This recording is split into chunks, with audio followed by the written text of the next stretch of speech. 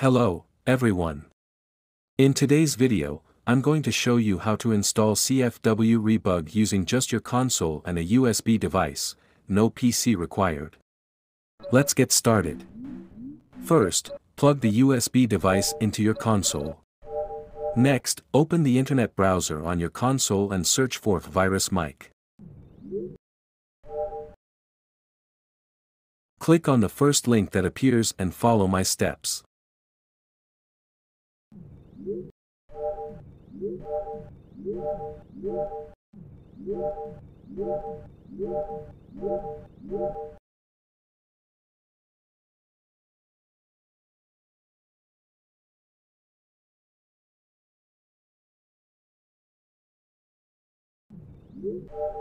Yeah.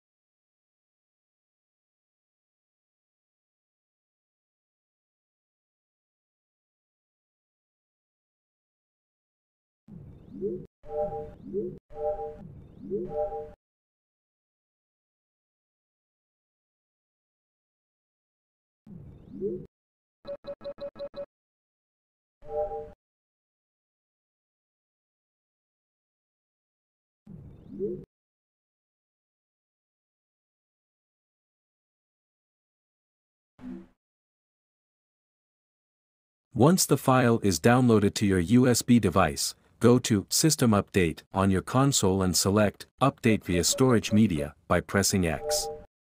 Now, just sit back, relax, and let your PlayStation 3 do its job. I hope you find this video helpful. Don't forget to like and subscribe.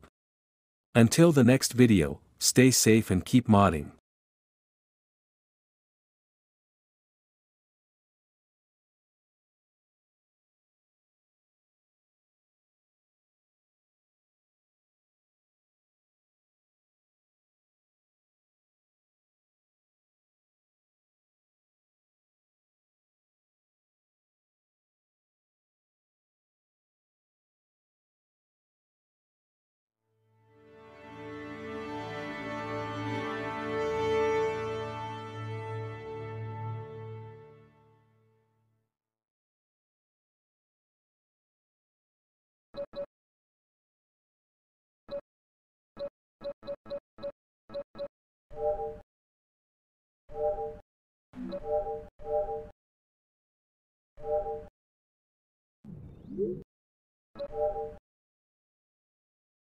Mm-hmm.